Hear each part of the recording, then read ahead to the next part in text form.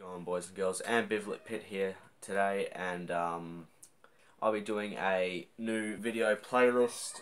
I hope you guys will participate in it. It will be a try to scare ambi thing.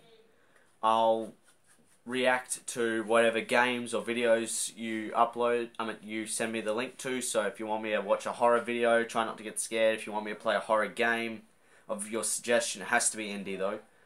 Um, happily do it. You get to see the reaction of me if I'm terrified, if I'm laughing at some stupid thing, or trying to keep my um, head together playing it. So, anyways, um, also another thing, I'll be.